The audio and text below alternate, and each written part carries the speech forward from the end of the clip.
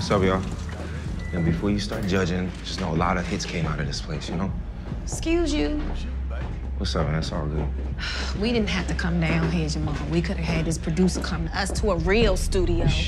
You need to watch your back around here, Ma. Some real hungry, grimy types, you know? Well, this is all I can afford. Lucious can take all that money and he can give it to Hakeem. This right here is mine. All right, well, you do you, baby. You keeping it ghetto, that's for sure. If this is the sound you want and you think it's gonna put you ahead of Hakeem, then this is what we doing, baby. Your daddy would be proud, even though he won't admit it. What the heck? It's fine. It's fine. Yo, you trying to make some money up in here? What the hell you got us, Jamal? Bullet hole. What's up, man? You can barely afford this. With your budget, you get one day. All right. So you better record like you mean it. Yeah. Ma, come in.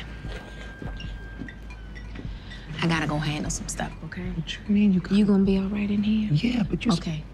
Don't you pay these suckers a dime until you get everything you need. You hear me? Yeah. All right. Tyree, that's you? You take care of my baby boy, okay? If not, I'm holding. The name's Cookie. Ask about me.